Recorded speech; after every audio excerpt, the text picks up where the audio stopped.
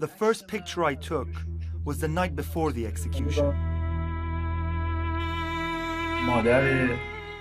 It was just moments after Bilal's mother had received a phone call from the court telling her the execution will go ahead the very next day.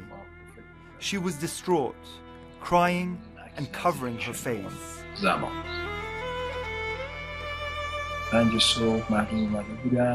The next uh, morning at 5 a.m., people had gathered, mostly just praying and waiting. It was still dark and we saw the authorities getting ready. It was a very surreal scene for me.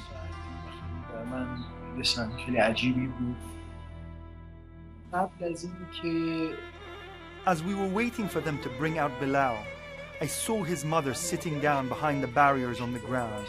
She had no energy left in her, resigned to the fact that she was going to lose her son. It was very moving. Then they brought Bilal out from the prison. He was breathing very heavily and was trying very hard to figure out what was going on around him. They took him to the chair and put the noose around his neck. He was screaming and praying loudly before he suddenly went silent. The victim's family came out and his mother addressed the crowd. She told them she'd been living in a nightmare since she lost her son. And even though in Islamic law it's recommended for the family to forgive, she couldn't bring herself to forgive Bilal. She walked close to the chair with her husband, and at that point there was no indication she was ready to forgive. But then she asked for them to bring a chair so she could stand on it. And that's when she slapped Bilal. And she said, Forgive him.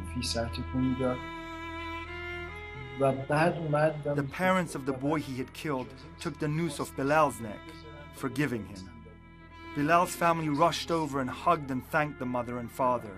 They were praising them for what they did.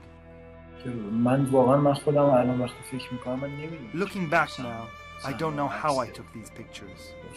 I guess it's the power of the camera that allows you to focus. And that's the only reason I didn't break down and cry. ای کاش میتونستم اون لحظه گریه کنم